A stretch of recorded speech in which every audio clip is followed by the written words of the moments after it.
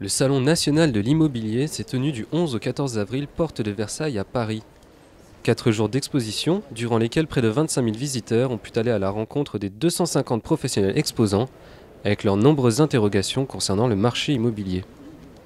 Je passe euh, au salon pour euh, une information sur le marché immobilier euh, 2013, euh, faire un petit tour d'horizon, autant au point de vue location qu'au point de vue euh, acquisition, éventuellement prêt, mais à 75 ans, c'est pas toujours euh, évident. Du point de vue des professionnels, l'événement représente une bonne opportunité pour se montrer et se faire connaître du grand public, mais pas seulement.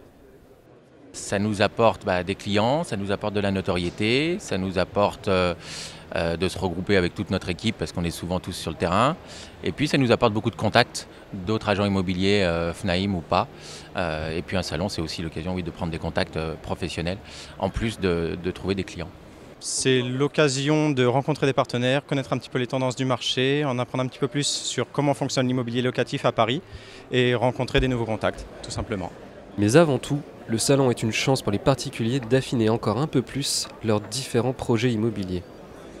On a un achat assez récent à, prévoir, donc bah, on, se renseigne et en fait c'est vrai qu'on voit beaucoup d'opportunités à l'heure actuelle, notamment au niveau des, frais de notaire ou, des euh, facilités de paiement, ce qu'on ne voyait pas jusqu'à présent et donc c'est pour ça qu'on trouve que c'est vraiment une opportunité cette année et éventuellement couplé avec la loi du flot qui, semble intéressante aussi si on envisage justement de, louer le, bien qu'on veut acheter. Avec ma compagne, on cherche un investissement locatif. Moi, je, je viens un petit peu pour voir quels sont les programmes proposés, les tarifs, euh, les, lois euh, auxquelles on peut, euh, prétendre, euh, et puis investir dans les deux ans à venir à peu près. Je souhaite acheter un appartement dans la région PACA, donc dans le sud de la France. Les offres que l'on voit ici sont plutôt orientées Île-de-France.